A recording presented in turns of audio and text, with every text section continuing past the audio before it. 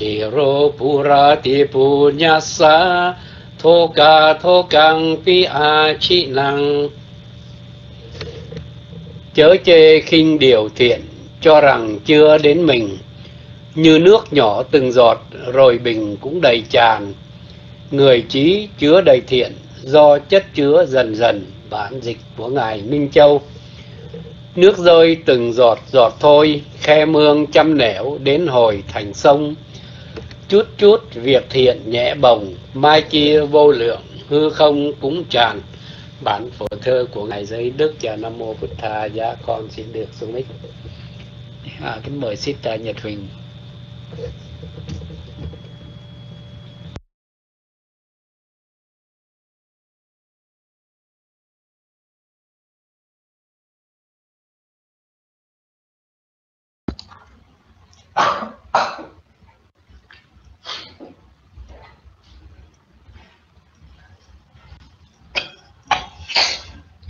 dạ sa thú sa thú kính cảm ơn huynh quá tha na dạ cảm ơn huynh cho nhật bình biết được tín hiệu. Dạ cảm ơn sự rạng đông.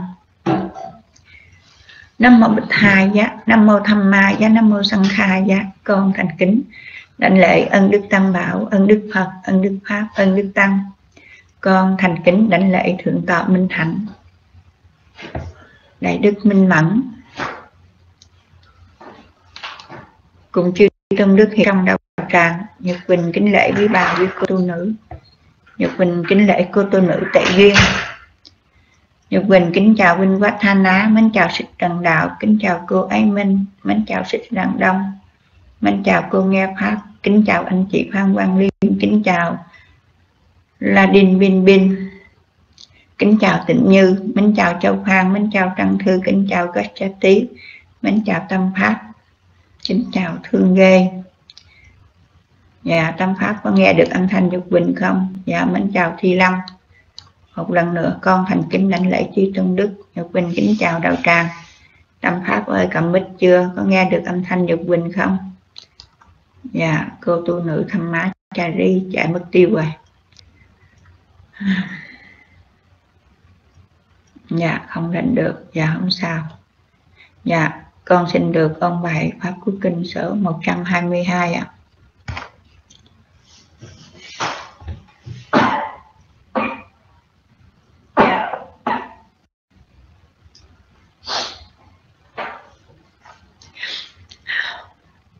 Qua mạnh nhẹ tháp buồn nhà sana mạng tăng agamit sati oda bin duni ba te na oda cùng bờ vi bù ra tích thì rờ bù ra tích buồn nhà xà thơ cả thợ căng ý a chỉ năng. Dạ, Và Nhật Quỳnh thầy kính lễ cô tu nữ thăm má chá rí mới trở lại đạo tràng. Và cô có cầm mít được không? Cô cho Nhật Quỳnh xin một tín hiệu ạ. à mà qua mạnh nhẹ tha buồn, nhà sana măng tăng agamit à, sati uda bình ni ba tề.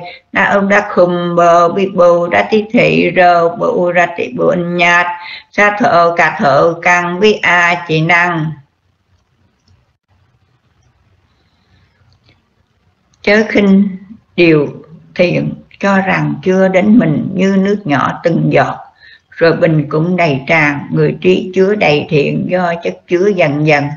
Và đây là bản chuyển ngữ của ngài hòa thượng minh châu, con thành kính, thánh lễ đại đức pháp tính vừa quan năm vào đạo tràng. Mà qua manh nhê à buôn nhà sa nam măng, tăng, a, gà, mịch sa tê ưu đa binh đu bị ba tê na ưu đa không phô bị bu sa tê. Thì rơ bu ra thì buôn nha sa thô ca thô căng bị a chi năng. Mà quam nhê thà buôn nhà sa na mang tăng a gà mịch sa tê ủ ra minh đu bị ba tê na ủ ra khum phơ Vị Bũ sa tê. Thì rô bu ra thì buôn nhà sa thơ ca thơ căng bị a chi năng.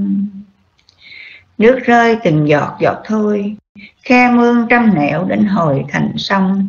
Chúc chúc thiện nhà bồng, mai kia vô lượng hư không cũng tràn. Và đây là bản phổ thơ của hòa thượng giới đức. Con thành kính lãnh lễ tri ân chư công đức nhật bình kính cảm ơn đạo tràng. Dạ cô có cầm mic được không? Và đạo tràng còn vị nào? Chưa kể kinh không thì có thể đưa tay lên cho nhật bình xin một tín hiệu ạ. À. nam mô bích tha dạ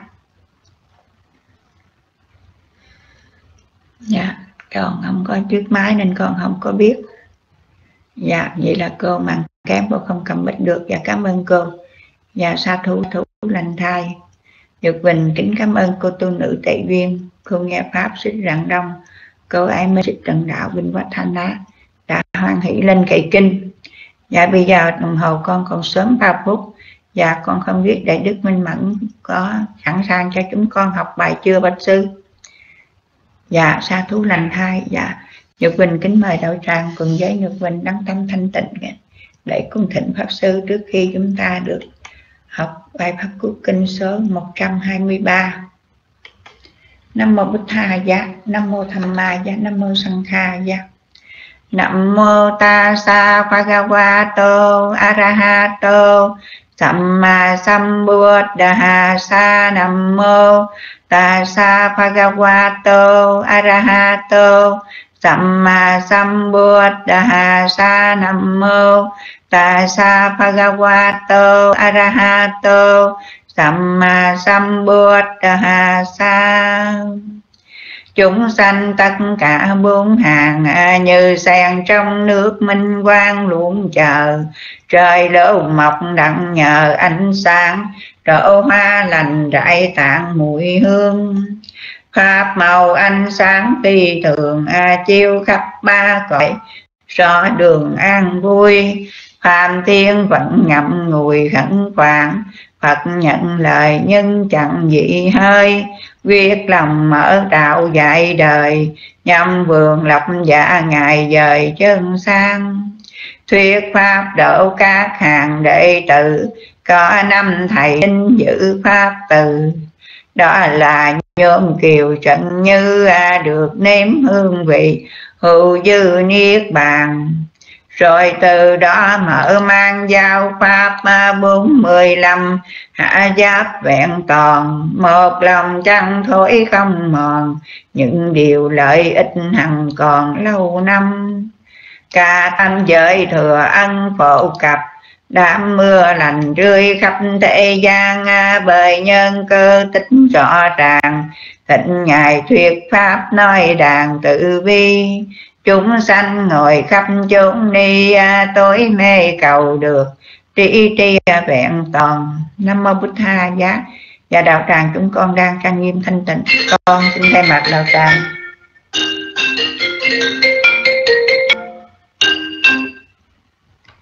Thành kính đảnh lễ cung thỉnh tại đức minh mẫn, từ bi hoan hỷ đăng đàn để chúng con được học từ vựng duyên sự và ý nghĩa cao cấp của kinh số 123 Nhật Bình kính cảm ơn Minh Bách Thanh Á đã cho bài học. Nhật Bình kính chúc đạo tràng một buổi học Pháp được an vui tiến hóa. Con kính nhân minh đến sư ạ.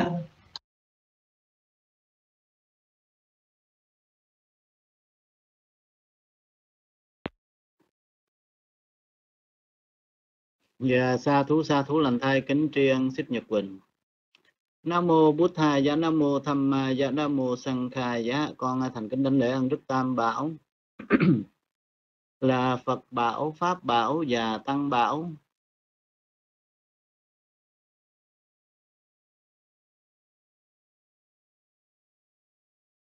À, quý vị nói hơi nhỏ thì à, chúng tôi sẽ chỉnh à, lên một tí.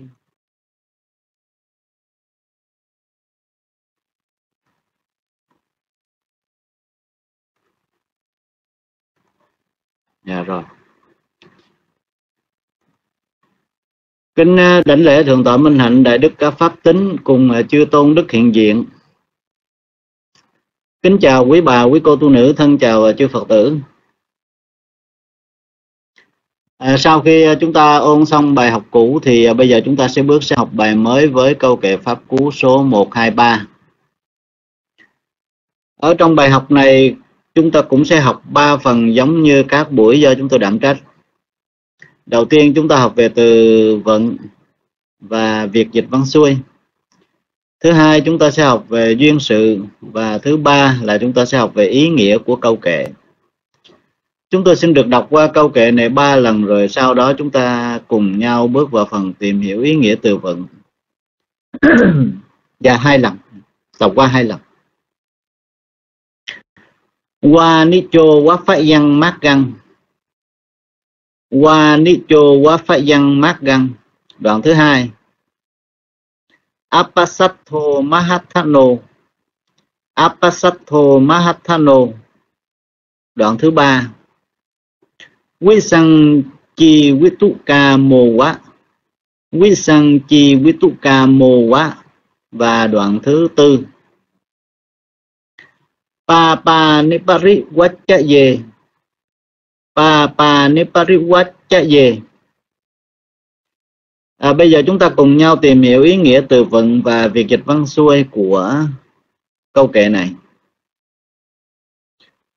Ở trong đoạn thứ nhất chúng ta thấy gồm có ba từ. Từ đầu tiên qua ní chô quá. Đây là một hợp từ chúng ta tách ra qua ní chô cộng với lý quá. Qua là người à, thương buôn. À, tức là người làm business. À, ý quá là đây là một cái từ à, so sánh. Như giống như. Từ thứ ba phát văn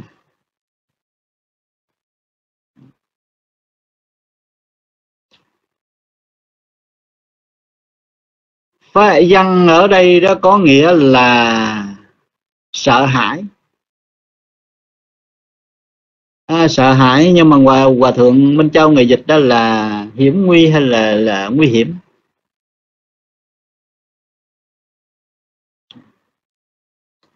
À, cái chữ uh, phá dân đó là sợ hãi hay là kinh hãi? À, nhưng mà thôi chúng ta lấy theo một cái nghĩa nữa của hòa thượng là nguy hiểm.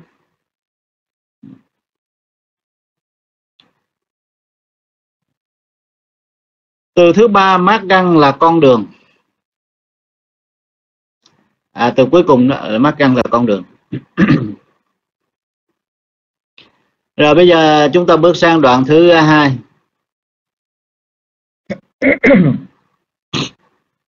Đoạn thứ hai chúng ta thấy gồm có hai từ từ đầu, từ đầu tiên apasatho apasatho đây cũng là một hợp từ chúng ta tách ra. Apa cộng với là sattha apa đó có nghĩa là ít. À, nó đối lại với chữ ma ma ha sau apa là ít. À, sắp tha đó. Sắp tha có nghĩa là thương đội à, hay là bạn đường. Apa sắp tha đó là ít bạn đường hay là ít thương đội. Đồng đội đi buôn. Từ thứ hai Mahathano đây cũng là một hợp từ chúng ta tách ra. Maha cộng với là Thana. Maha là nhiều hay là lớn? Đại. Thana là tài sản. À, Mahathano là nhiều tài sản. Tài sản lớn.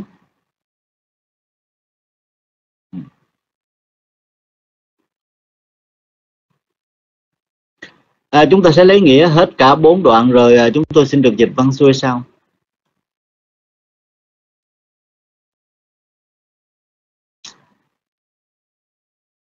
Chúng ta bước sang đoạn thứ ba của câu kệ.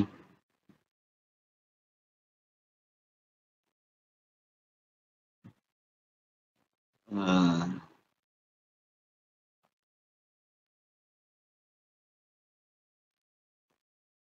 À, chúng ta bước sang đoạn thứ ba của câu kệ.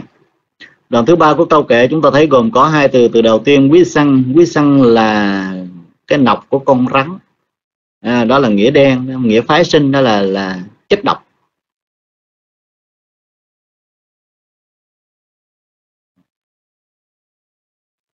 Chất độc hay là thuốc độc? À, từ thứ hai chi quý tú ca mô quá. Ừ. đây cũng là một hợp từ chúng ta tách ra chi quý tung chi quý tú. Ừ. Cộng với là ca mô cộng với là ý quá.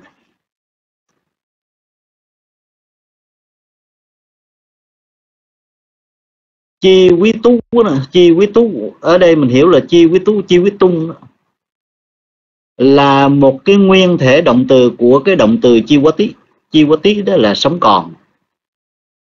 Mà chi quý tung đó là để sống còn. Rồi ca mô ca mô thông thường đó mình dịch là dục. À, thì dục là tiếng hán xin thưa quý vị. Còn tiếng việt của mình đó là mong muốn hay là muốn. Ý quá là một cái từ ví dụ như giống như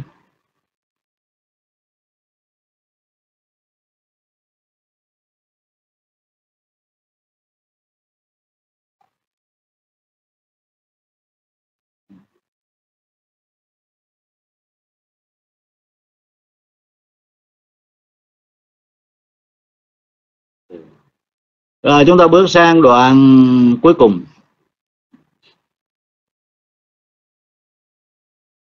Đoạn cuối cùng chúng ta thấy gồm có hai từ.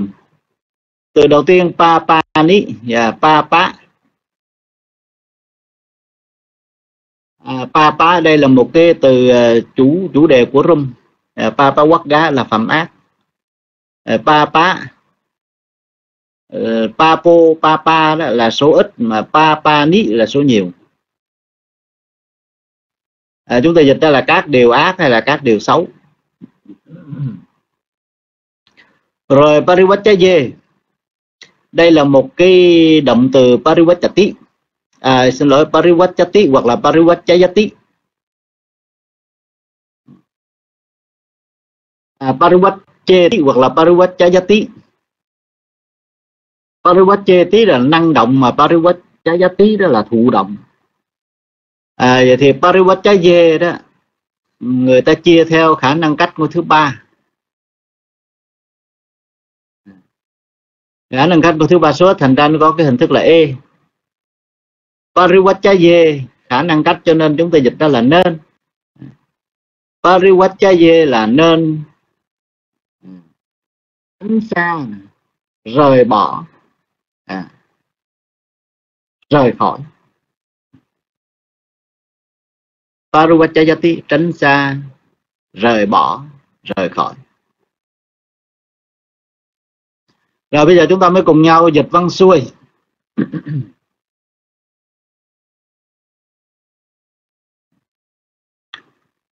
Ý quá giống như qua ní chô, người thương buông.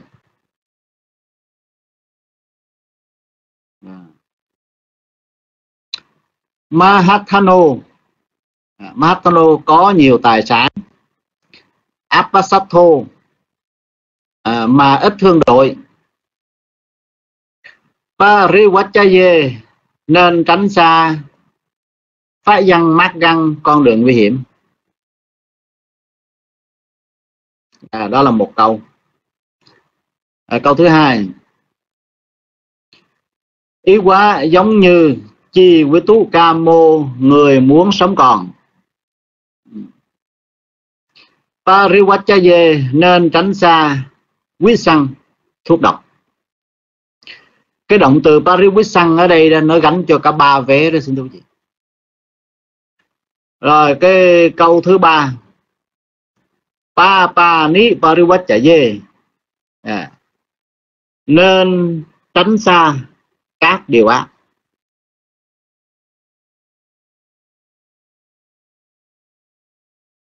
À, như vậy thì cái ờ, đoạn kệ à, câu kệ một hai ba này gồm có bốn đoạn nhưng mà chúng ta gom lại thành ba câu vậy đó xin thưa quý vị.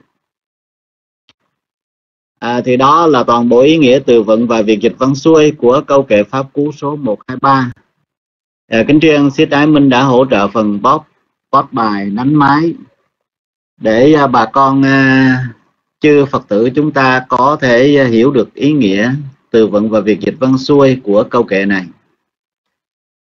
Tiếp theo chúng con thành kính cung thỉnh chư tôn đức xin được kính mời quý bà, quý cô tu nữ cùng toàn thể chư Phật tử chúng ta hướng về Tam Bảo làm lễ tán dương. Rồi à, cùng nhau bước vào học phần 2 và phần 3 của câu kệ.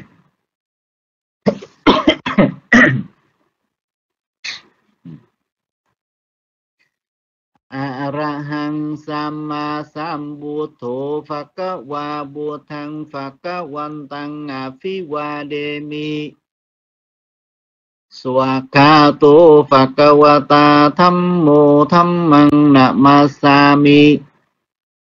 Supati Panno Phakawato Sawaka Sangko Sangkang Namami. Namaturata Tayasa Đệ tử xin nghiêm tịnh thân khẩu ý cung kính đảnh lễ và tán dương ân đức chư Phật. Đệ tử xin nghiêm tịnh thân khẩu ý cung kính đảnh lễ và tán dương ân đức chư Pháp. Đệ tử xin nghiêm tịnh thân khẩu ý cung kính đảnh lễ và tán dương ân đức chư Tăng. Phước báo phát sanh do sự cung kính đảnh lễ và tán dương ân đức Tam Bảo một cách tóm tắt này. Chúng con thành kính cúng dường đến chư Tôn Đức, Xin được chia đều đến quý bà, quý cô tu nữ cùng toàn thể chư Phật tử. Nguyện cầu phước báo và chư thiên hộ trì quý ngài cùng quý vị được thân tâm an lạc trong suốt thời gian sinh hoạt Phật Pháp tại Râm Pháp Quốc Kinh chuyên đề Nam Mô Bổn Sư Thích Ca Mâu Ni Phật. Kính bạch chư Tăng, kính thưa quý vị, hôm nay chúng ta học đến câu kệ Pháp Cú số 123. Câu kệ này nằm trong phẩm Pa Pa Quát Đá, phẩm ác được Đức Thế Tôn giảng khi Ngài ngự tại Chê Tawanaviha đề cập đến một người thương buôn giàu có. à, tương uh, truyền rằng vào uh, thời kỳ Đức Phật đó có 500 tên cướp nó chúng nó muốn đột nhập vào nhà của ông lái buôn giàu có này nhưng mà chưa có cái cơ hội thuận lợi. Thì một lần nọ ông thương buôn giàu có này có một chuyến buôn đi xa. À, cho nên đó là ông ta cho chất hàng hóa chở đầy 500 của xe bò. Rồi ông ta cũng ở gần uh, chư tăng. À, có thể hiểu đó là ở gần chùa đó. Thì thành ra đó khi mà ông ta đi buôn vậy đó từ xứ này sang xứ khác. Thì ông ta mới trình bạch lên chư tăng là kính bạch quý ngài à, tôi à, sắp có một cái à, chuyến buôn à, đi đến địa phương đó đó đó vậy đó. Ừ. nếu mà quý ngài nào cần đến đó để à, hoằng pháp đó, thì à, xin ngài quý ngài đi cùng à, dọc đường đó là thương đội chúng tôi sẽ lo về thức ăn thức uống cho quý ngài. À thì khi mà chư tăng nghe ông này à, tác bạch vậy thì có một số vị à, xin thưa quý vị một số vị ở đây đó trong chú giải nói đến 500 là 500 vị tỳ kheo tháp tùng cùng với thương đội của ông à, thương buôn giàu có lên đường thì khi mà bọn cướp nó hay tin thương đội của ông thương buôn này đã khởi hành thì à, chúng nó bèn à, ẩn núp chặn đường để hy vọng đó là có thể thực hiện được một cái phi vụ đó. Thì đoàn của ông à, thương buôn giàu có này lên đường à, đi đến một cái vùng thôn thôn làng nó cũng tương đối xa rồi. Cũng tương đối xa. À thì bây giờ đó đoàn à, thương đội này cần phải nghỉ ngơi. À, đồng thời đó là bò nè ngựa cũng cần phải nghỉ ngơi ăn uống. Và ở trong làng vậy đó thì nó cũng thuận tiện nữa. Thì thành ra đó là cái ông thương buôn giàu có này mới quyết định dừng lại đó để mọi người cùng nghỉ ngơi rồi à, à, bò ngựa cũng được nghỉ ngơi. Thì à, bọn cướp đó nó phục ở đó nhưng mà sau thấy chờ lâu quá vẫn chưa có thấy. À, cái à, thương đoàn này đi ngang qua. Cho nên bọn cướp đó mới bèn sai một cái tên đồng đảng đi thám thính. Thì tên này đó đi vào ở trong làng đó lại quen một cái người ở trong làng à, cho nên đó là mới hỏi cái người quen đó à, này bạn chừng nào đó thì cái thương buôn này mới khởi hành? Thì cái người dân làng đó mới trả lời là chắc cái chừng à, hai ba ngày nữa đó là người ta sẽ khởi hành tôi để trả lời xong lại hỏi lại ủa gì chứ bạn hỏi đi làm gì? Thì cái tên cướp đó nó mặc dù cướp nhưng mà nó cũng cũng cũng có cái pháp chân thật à, thành ra nó mới trả lời đó à, chúng tôi là 500 tên cướp à, đang trực chờ sẵn ở trong rừng đó để mà cướp cái thương đoàn này. Thì người à, dân làng đó nghe xong vậy mới tiễn cái người bạn à, cướp của mình đi. À. xong rồi đó mới à, đi về. Thì vừa đi đó vừa suy nghĩ giữa bọn cướp với người thương buôn này.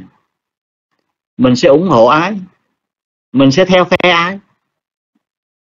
à thì bắt đầu đó, cái tư tưởng nó mới đấu đá lẫn nhau. Rồi cuối cùng đó, cái người dân làng nó mới suy nghĩ à, cái ông thương buôn này, ông còn cu mang 500 vị tỷ kheo. Ông có cúng dường đến 500 vị tỷ kheo. Như vậy ông thương buôn này đó dù cho ổng như thế nào như thế nào đi nữa đó nhưng mà trước mắt với cái hành động này của ổng thì ổng cũng là một cái người tốt. À, bởi vì ổng ủng hộ ủng hộ độ cho chư tăng mà thì thành ra thôi. Mình ủng hộ cho công thương buôn này mình binh vực cho công thương buôn à thì khi cái tư tưởng này thắng thì bắt đầu mới đến nói cho công thương buôn đã biết nó này ông uh, có một cái bọn cướp đó nó đang trực sẵn ở trong rừng đó để thương đoàn của ông đi ngang qua đó là nó đánh cướp chúng nó đánh cướp. Thì uh, khi mà nghe tin vậy đó thì cái ông thương buôn này cũng tin xin thưa quý vị. Ừ. ông tin. À, cho nên đó là biết có bọn cướp à, nó chờ sẵn đêm mà nó cướp vậy đó thì ông này mới quyết định đó là không có đi nữa à, mà ở lại đó.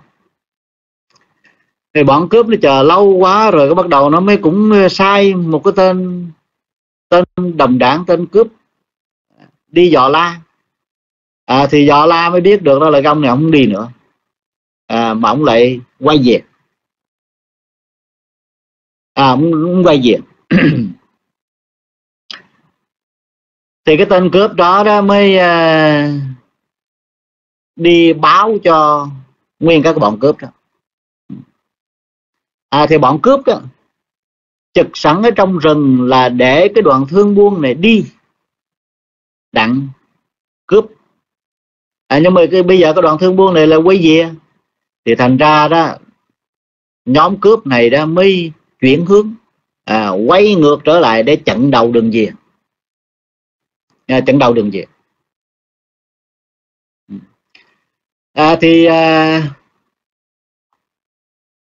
khi mà bọn cướp này nó trực sẵn ở đường dìa đó à, thì bắt đầu nó cũng lại lại lại sai một cái tên đó nó đi dò la vậy ừ. à, thì cái người dân làng này cũng lại nói cho cái ông thương buôn đó biết. Ừ. Thì bây giờ đó cái ông thương buôn nhiều của cải đó đó mới à, trình bạch lên chư tăng nói à, bạch quý ngài. À, giờ cái đường tiến đó thì cũng không có được bởi vì có bọn cướp đến trực sẵn để ăn cướp. Rồi tôi định quay về đó thì cũng lại bị bọn cướp nó trực sẵn để mà nó cướp nữa. Đi cũng không được mà về đó cũng không được.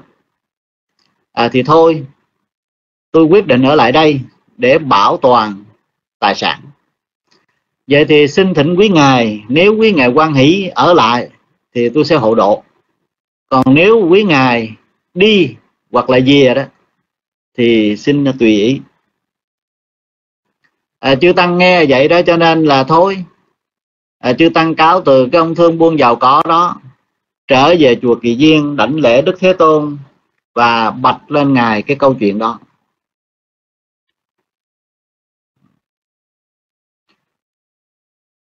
Thì à, sau khi mà bạch lên xong đó đức thế tôn ngài mới dạy ngài nói à, này các tỷ kheo cái người à, thương buôn nhiều tài sản đó đó à, phải biết né tránh cái con đường có nhiều kẻ cướp. Con người mà muốn sống còn đó thì phải biết né tránh chất độc. Tỳ kheo nào biết được con đường tương đương bị bọn cướp của tam giới nó đang ngăn đóng đó, thì phải biết né tránh làm các cái điều ác. Nói như vậy xong, Đức Thế Tôn ngài mới thuyết lên câu kệ một, hai, ba mà hôm nay chúng ta học. Qua nicho quá phá văn mát găng, áp sát thô mahathano quý sang chi quý tu ca mù quá pa pa ni parivat chạy về câu kệ này được ngài hòa thượng thích minh châu dịch kệ thơ năm chữ. Ít bạn đường nhiều tiền, người buông tránh đường hiểm, muốn sống tránh thuốc độc, hãy tránh ác như vậy.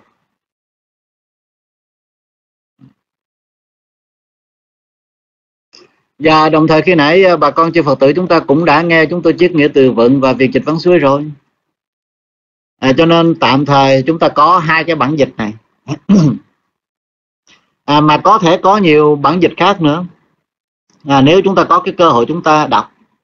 À, và Sĩ Đái Minh mới đưa lên một cái bản dịch của Ngài Hòa Thượng à, Giới Đức chúng tôi xin được đọc để à, bà con chư Phật tử chúng ta cùng tham khảo. Thương buông lắm bạc nhiều tiền, đồng hành ít ỏi, tránh miền hiểm quan, muốn sống thuốc độc chớ hoàng, lãnh ác cũng vậy, rõ ràng là khôn. À, thì qua ba bản dịch này ít nhiều gì à, chúng ta cũng à, à, nắm được một số ý ở trong cái à, câu kệ pháp ngôn Bali mà Đức Thế Tôn ngày dạy. À, bây giờ chúng tôi cùng với ờ, quý vị chúng ta cùng nhau tìm hiểu ý nghĩa chứa, chứa đựng ở trong à, câu kệ Bali 123 này. Cái nãy chiếc nghĩa từ vận à, chúng tôi nói với quý vị đó cái câu kệ này có ba câu. Và dạ, ba câu. Ừ. Thì ba câu đó chính là ba ý chứa đựng ở trong câu kệ này và ba ý đó chính là ba cái hình ảnh đó xin thưa quý vị. Ừ. Cái hình ảnh đầu tiên đó. Và hình ảnh đầu tiên đó đây là một cái ẩn dụ. À, để cho chúng ta thấy đó cái cuộc đời tu hành của mỗi mỗi người đó à, hay là quá trình thanh tịnh tam hành à, của mỗi mỗi người đó, là như vậy. Cái ý nghĩa thứ à, cái câu thứ hai đó cũng là một hình ảnh xin thưa quý vị. Chúng ta mà muốn uh, sống còn có nghĩa đó là muốn uh, đạt đến cái trạng thái bất tử đó à, thì chúng ta cũng phải tránh tránh xa những cái gì đó mà nó tàn hại tàn phá à, con người của mình vật chất cũng như tinh thần cái hình ảnh thứ ba đó. À, là đức thế tôn ngài dạy trong trong duyên sự đó thì ngài nói là chư tỳ kheo. À, tỳ kheo nào biết được cái con đường tương đương bị kẻ cướp của tam giới nó đang ngăn đón đó thì phải nánh tránh né điều ác như vậy.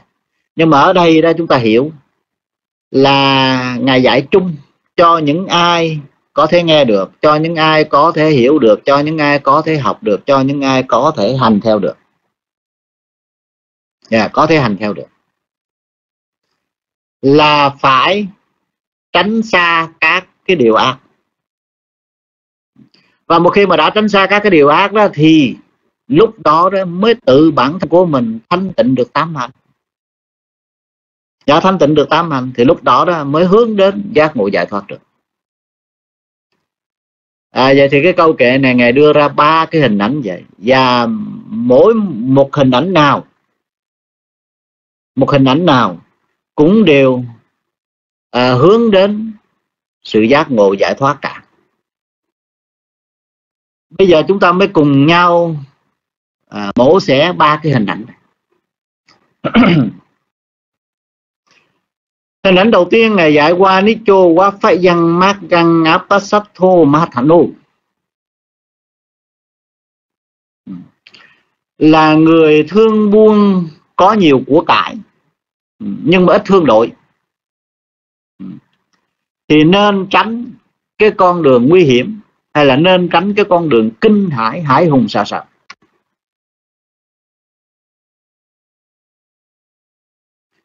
vậy thì người thương buôn ở đây là gì? Xin thưa quý vị.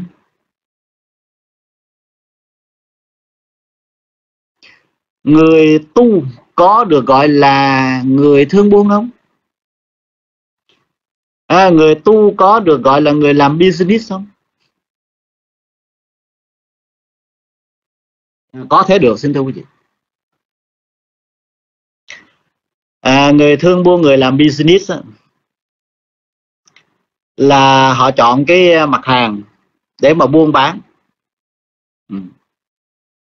chọn mặt hàng ờ, rồi cách thức buôn bán sao đó để cho họ có lợi nhuận. À thì người người người tu cũng vậy, xin thú gì vị. Dạ, người tu cũng phải chọn cái hạt giống. Chọn hạt giống đó rồi phải chọn cái mảnh đất. Chọn cái mảnh đất để gieo cái hạt giống đó sao cho mình có được kết quả thù thắng. À, chúng tôi nói vậy à, bà con không biết bà con chưa phật tử chúng ta có đồng ý hay không? Khi mà bà con chưa phật tử chúng ta đi bố thí thôi ha. À, chúng tôi ví dụ bố thí thôi. À, bố thí nó có nhiều loại bố thí bố thí cơm nước nè bố thí y phục bố thí trú, trú xứ bố thí thuốc trị bệnh à, thì chúng tôi đơn cử một loại bố thí thôi là bố thí vật thực. À, thì khi bố thí vật thực đó thì vật thực là hạt giống. À, chúng ta có phải cắt lọc chọn lựa cái hạt giống đó không? Xin thưa quý vị. Hay là chúng ta gặp cái gì là, là, là chúng ta bố thí cái đó? Chúng ta mà đã học giáo lý của Phật à, có niềm tin nơi Phật. Thì bây giờ đó sở hành hành vi lối sống của chúng ta phải được dựa trên cái cơ sở lời dạy của ngài. Tức là lấy giáo lý lấy giáo pháp của ngài đó làm kim chỉ nam làm chỗ y cứ à, để chúng ta thực hành theo. Như vậy thì khi mà chúng ta bố thí đó à, thì chúng ta phải bố thí theo cách của bậc chân nhân chứ không có phải là bố thí theo cách của mình hiểu thì bố thí của theo cách của bậc chân nhân hay là bố thí theo pháp đó à, thì lúc đó đó mới là bố thí đúng thì bố thí theo pháp hay là bố thí theo cách bậc chân nhân đó bậc chân nhân bố thí đó xin thưa quý vị à, bậc chân nhân bố thí đó ha là vì niềm tin à, bố thí vì niềm tin nè à, bố thí có sự hiểu biết nè. Bố thí có nghĩ tưởng về tương lai nè. À, rồi bố thí đó không có phương hại đến mình và người thọ thí nè. Bố thí hợp thời. Qua năm cách bố thí này đây chúng ta thấy đó có phải đó là cái hạt gieo đó cần phải chắc lọc không? Phải chắc lọc. À, rồi cũng cũng cái năm cái cách bố thí đó ha. Mà đổi lại cái cách đó là bố thí không có phương hại đến mình không có phương hại đến người thọ thí đó. Thì đổi lại bằng cách đó là bố thí có sự cung kính. Và bố thí có sự cung kính. Như vậy đó thì là cái vật à, cơm nước bánh trái đó đó mình cũng phải cắt lọc. À, mình cũng chắc lọc mình phải lựa. Chứ không có phải là đồ mình ăn không có không có ăn được nữa rồi cái mình đem đến bố thí à, mình đem đến bố thí. À rồi. Cái mảnh đất để mình gieo hạt ở đây đó là mình cũng phải biết. Mình mà bố thí cho cái uh, uh, súc vật đó à, thì cũng có phước. Dạ có phước. À, nhưng mà phước không có bằng bố thí cho con người. Bố thí cho con người đó đó thì con người mà có tâm có tu đó thì có phước nhiều hơn là con người mà tâm không có tu đó, đó là mình mình mình mình mình mình mình, mình, mình chọn. À, chọn cái mảnh đất để mà gieo. À, chọn cái mảnh đất để mà gieo. À thì như vậy đó là khi mình thực hiện một cái việc bố thí đó mình cũng phải có tính toán cân đo đong đếm kỹ lưỡng mình mới làm. À, làm sao đó để cho cái quả của cái bố thí đó nó phát sanh lên đến mình đó kết xù nhiều à, thì như vậy có phải là mình đi buông xin thưa quý vị? Ờ, ở một nghĩa nào đó là mình đi buông cho nên người tu mà giỏi là một người làm business giỏi. À, người tu mà tội là một người làm business tội. À, cho nên đó là người tu xem như là người đang làm business. À, gọi là người người buông người thương buông à mà người thương buông nhiều của cải. Mahatano nhiều của cải đây mình hiểu là gì ạ? Nhiều của cải hay là nhiều tài sản? À, chúng tôi xin hỏi quý vị này nha. Của cải vật chất phát sanh lên do mấy nhân do hai nhân. Một là do nhân nhân cần lao. Là mình phải đi lao động lam lũ thì bắt đầu đó mình mới có của cải vật chất đó. Cái nhân thứ hai đó là do phước cái phước này mới là quan trọng này xin thưa quý vị. Cho nên chúng ta thấy có những người đó chưa sinh ra còn trong bụng mẹ đó thì đã có của cải tài sản.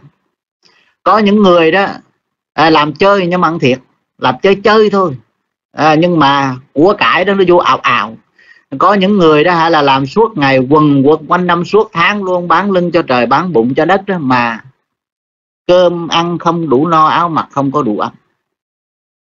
Vậy là vì do thiếu nhân phước nó hỗ trợ thành ra nhân cần lao đó đó cái lợi nhuận mang về đó nó rất là do nó rất là vậy thì với những ai đó mà nhiều của cải tài sản vật chất này thì người đó là có nhiều phước. Nó có nhiều phước vật. À, thì bây giờ người đó mới có nhiều của cải tài sản vật chất. Như vậy là người thương buông nhiều của cải tài sản vật chất tức là người tu mà có nhiều phước. Thế là mình hiểu là vậy. À, thì khi mà có nhiều phước này nè nó thể hiện ra ở nhiều cách như xin thú vị bởi vì phước ở đây mình hiểu nó không phải chỉ có phước Phật không mà bên cạnh đó nó còn có phước đức nè, rồi phước trí. À, nên ngoài cái việc đó là người đó có nhiều của cải tài sản vật chất nè, thì người đó đó còn có thêm đó, sức khỏe uy tín rồi là hội chúng đông đảo. Người này người kia giúp đỡ khôn ngoan lanh lợi để xoay sở mọi chuyện. À, để xoay sở mọi chuyện. À, thì cái ông này đó cái ông thương buôn giàu có này nè ông đi buôn chất tới 500 cổ xe hàng đó thì như vậy đó là phước vật ông nhiều nè. À, nhưng mà bên cạnh đó đó ông còn được à, sự tháp tùng ủng hộ của chư tăng nè. Vậy đó là ông có phước đức. À ông có phước đức nè. Rồi ông lại được một cái người làng đó à, giúp đỡ hỗ trợ để cho ông phát hiện ra được ra là có có tên cướp nó rình rập nó nó nó nó nó định ra là cướp của của ông. à, thì xin thưa quý vị mình có phước đó thì mình mới được người khác họ giúp đỡ à, cho còn mà mình không có phước mình có tội đó thì mình bị người khác đòi nợ. À, bị người khác người ta vui dập. À, bị người khác người ta vui dập. À, nên có phước nó mới thể hiện ra nhiều góc độ nhiều khía cạnh vậy. À, nhiều khía cạnh vậy. À, còn nếu như đó mà mình không có phước tức là mình có tội đó. À, mình mà có tội đó thì mình sẽ gặp kẻ thù. Dạ, giảm gặp kẻ thù. À, cho nên đó là là là là ở trong cũng trong cái bộ môn pháp cú này có hai câu kệ đó. Một câu kệ nói về nghiệp ác và một câu kệ nói về nghiệp lành nghiệp thiện. Nghiệp lành đó là như người thân đón chào nè. Còn nghiệp ác đó thì như kẻ thù nó chực chờ. À, nó băm nó vầm nó giết chết mình. Thì ở trong à, đời sống của một chúng sinh đó xin thưa quý vị ai cũng có quá khứ hết chứ không ai mà không có quá khứ cả.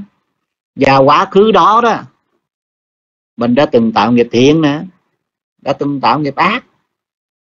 À, thì nghiệp thiện đó bây giờ nó trổ quả thì mình sẽ được nâng đỡ nè mình sẽ được ủng hộ nè mình sẽ được giúp đỡ. Còn nghiệp ác đó nó trổ đó thì là mình bị kẻ thù nè mình bị bọn cướp nè nó chật chờ để nó đòi nợ mình. Nên để nó đòi nợ mình. Thành ra cái ông ông ông ông ông ông ông, ông thương buôn giàu có này cũng vậy. Kẻ cướp nó chực chờ đó đó. Đó chính là cái nhân ác mà ông đã tạo ở quá khứ. còn cái người dân làng đó đó giúp đỡ ông, đó chính là cái nhân lành quá khứ ông đã tạo. Của cải tài sản nhiều đó, đó là nhân lành ông đã tạo quá khứ chư tăng ủng hộ tháp tùng theo ổng đó là nhân lành quá khứ ông đã tạo. Đó, đó là nhân lành quá khứ ông đã tạo. À, vậy thì cái kẻ cướp mà à, người thương buôn có nhiều tài sản à, à người thương buôn có nhiều tài sản.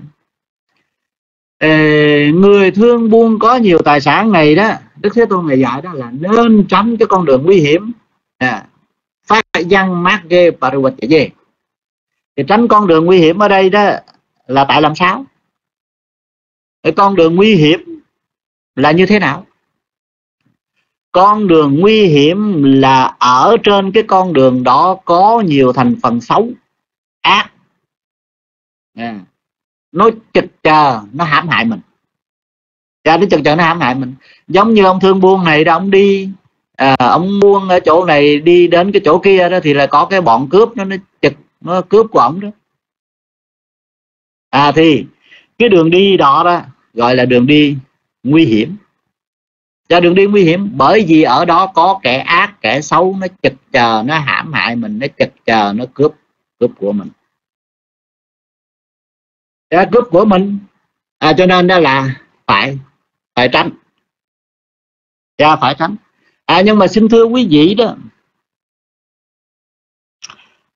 à, cũng ở trong uh, pháp cú kinh uh, có một cái câu kệ đức thế tôn ngày dạy đó là không trên trời dưới biển à, không trốn vào động sâu không chỗ nào trên đời thoát được quả ác nghiệp. Thoát được quả ác nghiệp. Như vậy có nghĩa rằng là đời xưa kiếp trước mình đã từng tạo cái nhân xấu nhân ác rồi thì bây giờ đó mình không có trốn được dạ mình không có trốn được. Đến thời kỳ cái nhân xấu cái nhân ác đó đó mà nó trổ quả đó thì mình phải chấp nhận mình phải chịu thôi. Như vậy thì tránh ở đây là tránh cái gì? Mình chỉ có thể tránh được cái nhân thôi chứ cái quả mình không có tránh được xin thưa quý vị. À, mình phải chúng ta phải hiểu vậy. Người thương buôn giàu có à, nên tránh cái con đường nguy hiểm. Ừ. nên tránh cái con đường kinh sợ sợ hãi thì tránh ở đây là tránh cái nhân là tránh cái nhân mình mà bị kẻ thù kẻ ác nó hãm hại đó là vì do mình tạo cái nhân xấu cái nghiệp xấu cho nên mình mới bị. Thì bây giờ đó mình tránh đi tạo cái nhân xấu cái nghiệp xấu. Đó, tạo cái nhân xấu cái nghiệp xấu thì lúc đó mình sẽ không có kẻ thù lúc đó mình sẽ không có kẻ ác lúc đó mình sẽ không có bị kẻ xấu lúc đó mình sẽ không có bị kẻ cướp nó hãm hại à, nó hãm hại. À, thì ý nghĩa người buông nhiều của cải đó nên tránh con đường nguy hiểm là như vậy. Đó là một cái hình ảnh. Cái hình ảnh thứ hai quý sang chi của tú ca mồ quá. Ừ. người mà muốn sống còn à, thì nên tránh thuốc độc thì thuốc độc ở đây mình hiểu theo cái nghĩa đen đó. Là các cái chất độc mình uống vô một cái đó có thể chết liền hoặc là à, lâu lâu sau đó rồi mới chết. Nhưng mà dù chết liền hay là lâu lâu sau đó rồi mới chết đó, thì cái chất độc đó nó cũng tàn phá nó hủy hoại cái cơ thể của mình. Xin thưa quý vị. Và nó ngấm ngầm nó làm cho cái lục phủ ngũ tạng của mình nó làm cho cái cơ địa thể trạng của mình đó, hư hao hư hoại. Và hư hao hư hoại à, nhưng mà khi nãy chúng tôi triết nghĩa từ vẫn có nói đó. Cái cơ thể của mình nó gồm có hai thành phần là tinh thần và vật chất. Vật chất mà bị hủy hoại thì tinh thần nó cũng sẽ bị lây. Và nó cũng sẽ bị lây. Ừ. Chỉ ngoại trừ đó là các cái bậc thánh thôi. Thì vật chất mà bị hủy hoại đó thì tinh thần nó không có bị bị lây. Yeah, bị lây. À, nhưng mà một khi này, tinh thần mà đã bị độc rồi thì cái cơ địa vật chất đó nó cũng bị theo. Nó cũng bị theo. Như vậy thì từ đó đó mà chúng ta mới suy ra cái từ quý xăng ở đây chất độc đó. À, chất độc ở đây đó là những cái gì? À, mà cơ thể của mình đây nè qua mắt qua tai qua mũi qua lưỡi qua thân qua ý nè. À, tiếp xúc. À, tiếp xúc mà có hại đó thì có đây đều được gọi là chất độc. À, hoặc là khi mình sử dụng các cái nhu yếu phẩm cần thiết phục vụ cho đời sống của mình đó mà có hại đó thì cái đó cũng được gọi là chất độc. À, như là mình ăn nè. À, mình ăn nó mà có hại cho cơ thể của mình nè thì tức là mình đang nạp chất độc. Mình à, mặc nè mà nó có hại cho cái, cái cơ thể của mình đó. À, cho cái ngũ quẩn này đó thì cũng được gọi là chất độc. Ăn mặc ở trị bệnh. À, nếu mà chúng ta không có hiểu theo cái nghĩa đó là sáu căn sáu sáu cảnh à, nó tiếp xúc với sáu căn này nè. À, mà khiến cho cái cơ thể của mình bị hại đó thì chúng ta có thể hiểu theo à, cái khía cạnh là mình sử dụng các cái nhu yếu phục vụ đời sống của mình mà nó có hại. Thì có cái điều được gọi là chất độc. Vậy thì chất độc ở đây đó nghĩa bóng đó mình hiểu đó chính là gì? Tham là chất độc sân là chất độc si là chất độc. Mà tham thì nó có bè lũ của tham sân nó có bè lũ của sân si nó có bè lũ của si. Cái si nó có bè lũ của si. À, thì khi mà sáu căn của mình tiếp xúc với sáu trần mà làm cho tham phát sanh sân phát sanh si phát sanh thì ngay khi đó là mình bị nhiễm độc. Khi nào đó mà mình sử dụng nè ăn mặc ở trị bệnh đó. À, ăn mặc ở trị bệnh đó mà theo kiểu là lợi dưỡng nè hoặc là khổ hạnh nè hoặc là không hiểu biết. Đã không hiểu biết thì ngay khi đó đó là cơ thể này nhiễm độc. Đã bị nhiễm độc. À mà khi nhiễm độc đó thì thử hỏi quý vị đó có bất tử được không? No ha bị nhiễm độc rồi làm sao đó là chứng được niết bàn. Phải chứng được niết bàn thì lúc đó mới đạt đến trạng thái bất tử đạt đến trạng thái sống còn. À, cho còn không nữa ha. Là mình sẽ bị chết. Mình sẽ bị quy hoại à, quy, uh, bị hư hoại. À, bị tử vong bị mạng chung à như vậy thì muốn sống còn là muốn đạt đến niết bàn à là mình cần phải tránh xa thuốc độc, mà muốn tránh xa thuốc độc, muốn tránh xa, muốn rời xa thuốc độc, thì trước hết đó là mình phải có cái sự hiểu biết. Và hiểu biết thì lúc đó mình mới tránh xa được thuốc độc theo nghĩa đen. Rồi cũng phải hiểu biết thì mình mới tránh xa được thuốc độc theo nghĩa bóng phải có hiểu biết thì lúc đó mình mới cam tâm tình nguyện sống có chánh niệm. Nhớ sống có chánh niệm thì lúc đó mình mới bảo vệ gìn giữ được mắt tai mũi lưỡi thân ý tức là có thu thúc gìn giữ đó.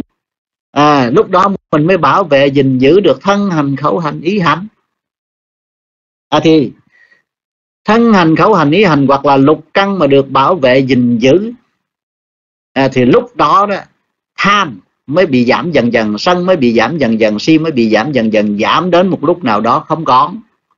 À mình tránh tránh từ từ từ từ từ từ đến một lúc nào đó đó mình miễn nhiễm. Và miễn nhiễm đó thì mới đạt được đến trạng thái bất tử. À, vậy thì từ cái chỗ này chúng ta thấy đó là cái hình ảnh thứ hai này với hình ảnh thứ trên nên nó có giống giống nhau. Xin thú chí giống giống nhau. À, khác nhưng mà cũng có chỗ giống nhau à, bây giờ chúng ta mới bước sang cái hình ảnh thứ ba. À, từ hai hình ảnh trên đó đức thưa ngài mới đưa ra cái hình ảnh pa pa ne parivachaye ừ. nên tránh xa các cái điều ác. À, nên tránh xa các cái điều ác. À, vậy thì các cái điều ác là gì? Cái nguy hại của nó như thế nào? Tại sao phải tránh xa nó? Và tránh xa bằng cách nào?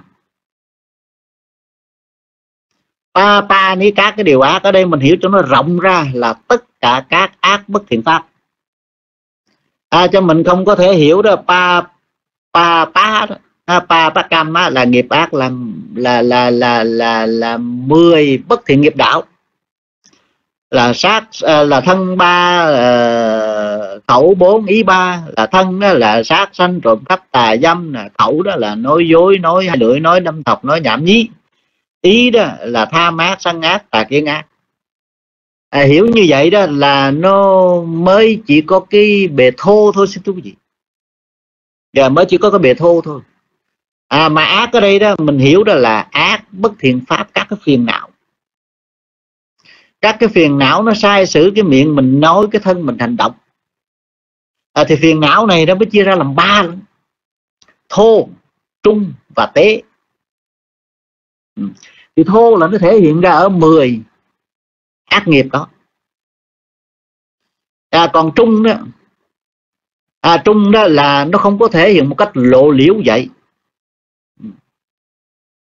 Mà nó cũng nằm chừng chừng ở đó. À, nó nằm chừng chừng ở đó giống như kiểu đó là là là đang ở tù vậy thôi. À còn tế đó là nó nằm ở trong sâu thẳm. Khi nào mà hội đủ điều kiện hội đủ duyên đó là nó bộc phát trở lại. À, bộc phát trở lại thì cái đó mới gọi là tế vi tế. À, tế vi tế đó còn được gọi một cái từ khác là ngũ ngập. Là nằm ẩn. À, phiền não nó có đến ba loại vậy đó vậy thì từ bỏ đó mình phải từ bỏ cả ba loại vậy đó. Chứ không có phải chỉ từ bỏ cái thô không đâu. À. ác. Mình hiểu là vậy. Để nguy hại nó là gì xin thú gì vì ác đó nghiệp ác đó thì nó cho cái quả khổ. Dạ, nghiệp ác nó cho cái quả khổ mà đâu có ai mong muốn bị khổ đâu rồi thành ra đó là mình phải từ nó đi chứ. Bây giờ từ như thế nào?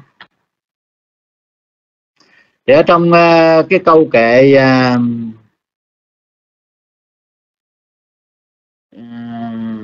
ở trong bài kinh giải thoát giáo đó à, đức thế tôn ngày dạy đó là sáp pa pa sa năng không làm các điều ác. Kusalasa upasambada là hãy làm hãy cụ túc hay là làm đầy đủ các cái điều lành sababa basakaranam kusala susapada sachitta pariyoda panang. Dạ. trao dồi tâm nó cho nó được trong sạch. Chitta pariyoda panang. E tăng buddha là sa năng. Đó là lời của chư Phật dạy. Mình đánh như vậy đó xin lỗi gì anh ác là mình nói mình không có sát sanh này ha. Nhưng mà mình không có làm một cái việc thiện đó thì ngay khi đó thôi mình có thể mình tránh được. Nhưng mà chỗ khác, lúc khác mình có thể quay lại. Và dạ, mình có thể quay lại. À, cho nên ở một cái câu kệ pháp cú khác đó Đức Thế Tôn ngày dạy đó nếu như mình không có gấp làm việc thiện thì cái tâm của mình nè nó sẽ quay lại nó thích cái điều ác liền. Và dạ, nó thích nó quay lại thích cái điều ác liền. Do đó đó tránh ác đã đành rồi nè. Nhưng mà mình phải làm điều thiện để chia. à để cái điều thiện đó, đó nó trở thành cái đối tượng cho cái tâm của mình kháng khích vô đó thì bây giờ cái tâm của mình nó mới quên đi được cái điều ác. Cái tâm của mình nó phải có cái đối tượng có một cái chỗ để nó trú xuống chú chị à, do đó mình không làm các cái điều ác mình từ bỏ các hư tật xấu nè. À, các cái thói hư tật xấu những cái việc làm mà hại mình hại người mình từ bỏ đi. Nhưng bên cạnh đó đó mình cũng phải làm những cái việc lành. Là mình sống lành sống tốt sống thiện để có lợi ích cho mình sống có lợi ích cho người khác. À, trao dồi những đức lành đức tốt. À, mình tập vậy đó. Thì bây giờ cái tâm của mình đã an trú vô trong những cái đức lành đức tốt đó đó. À, đức lành đức tốt đó đó. À, thì cụ túc các cái điều lành ở đây đó nếu như mà mình giải thích theo a hay vi diệu pháp đó thì nó bao gồm luôn cả cái trao dồi tâm trong sạch. Yeah, trao dồi tâm trong sạch. Còn nếu như đó mà mình giải theo tặng kinh thì bây giờ hai cái đó tách rời ra. À, tách rời ra. Làm các việc lành đó là mình làm mình tạo những cái nhân phước là thập phúc hành tung tông à, hoặc là thập thiện nghiệp đạo. Ừ không sát sanh, không trộm cắp, không tà dâm, không nói dối, không nói hai lưỡi, không nói độc ác, không nói nhảm nhí. Suy nghĩ đó thì không tham ác, không sân ác, không tà kiện ác. Thì đó chính là làm các việc lành. Còn nếu mà nói theo thập phúc hành tông đó là bố thí nè, tùy hỷ nè, hồi hướng, trì giới, cung kính, phục vụ, tu tiến, thuyết pháp, thỉnh pháp cải chính tri kiến đó mình làm các cái việc lành này thì bây giờ cái tâm của mình nó trú vô trong đó. Còn nếu mà nói theo à, à, rồi bắt đầu đó mới là trao dồi tâm trong sạch là an trú cái tâm của mình vào trong thiền định an trú cái tâm của mình vào trong thiền tuệ. Đến một lúc nào đó thành tựu được 16 trí minh sát thì xem như đó là tâm của mình được trong sạch. Còn nếu mà mình giải theo a thì đàm đó là hai cái này mình gặp chung lại làm các việc làm trao dồi tâm trong sạch đó làm các việc làm đây đó. Dùng tám tâm đại thiện làm tất cả các việc làm. Tám tâm đại thiện này làm cơ sở nền tảng để thành tựu được các cái tâm thiện đáo đãi à, các tâm thiện đáo đãi tám tâm đại thiện này làm cơ sở để thành tựu được 20 tâm thiện siêu thế. Tức là thành tựu được thánh đạo. Thì khi nào mà thành tựu được thánh đạo thì lúc đó tâm được trong sạch, tâm được thanh tịnh. Để tâm được thanh tịnh. À thì khi mà tâm trong sạch, tâm thanh tịnh vậy đó, thì bây giờ nè, những cái việc ác, những điều xấu xa, tội lỗi mới được từ bỏ. Cha mới được từ bỏ. Và thử hỏi bà con chư phật tử chúng ta, chứ khi mà mình thành tựu được các thiện siêu thế vậy đó, tức là thành tựu được thánh đạo tuệ thì thánh đạo tuệ chắc chắn sẽ dẫn đến là thánh quả tuệ. Thì thành tựu được cái này mình được đã được gọi là giải thoát chưa? Giải thoát. À, vì khi mà mình thành tựu được thánh đạo quả tuệ thấp nhất đó đó là thánh đạo tuệ thánh đạo tuệ thánh quả tuệ tu đà hoàng đó. À, thì nhiều lắm đó mình chỉ còn khổ có bảy kiếp nữa thôi. Dạ chứ không có còn nhiều hơn được nữa à do đó đó thành tựu được, thánh đạo tuệ, thánh quả tệ thấp nhất thì mình cũng được giải thoát rồi. Dạ được giải thoát rồi. Thì qua cả ba cái hình ảnh này này, xin thưa quý vị, hình ảnh nào? À khi mà mình thực hiện theo cho rốt ráo, mình cũng đều được giải thoát cả. Để ba hình ảnh này đưa ra đó, để chỉ cho chúng ta thấy cuộc đời của một người tu đó cần phải sống giống vậy. Ai cần phải sống giống vậy? Cần phải thực hành theo giống vậy đó. À, thì mình mới đạt đến được cái cứu cánh của đời tu là giải thoát khỏi mọi đau khổ. à, xin được chấm dứt cái thời giảng với đề tài là câu kệ pháp cú số 123 tại đây phước báo phát sanh chúng con thành kính cúng dường đến nơi chư tôn đức. Cầu mong các ngài an vui trong đời sống phạm hạnh. Xin được chia đều phần phước này đến quý bà quý cô tu nữ cùng toàn thể chư phật tử. À, mong quý vị được à, hanh thông trong đời sống được tiến hóa trong phật pháp. Phước báo khác xin được cầu hưởng đến tất cả chư thiên trong ba cõi nhất là vua trời đế thích tứ đại thiên vương diêm vương chư thiên hộ pháp chư thiên ngự tại chùa. Chúng tôi đang ở tại chùa của chư tăng ni. À, có mặt ở trong room pháp cú tại à, nhà của tất cả chư phật tử. Cầu mong quý ngài tùy với công đức này để được an lạc nơi cảnh giới chư thiên. Rồi xin uh, chư thiên hộ trì Phật pháp được bền vững hộ trì chúng sanh đồng tiến quá an vui. Nam mô bút thà giá.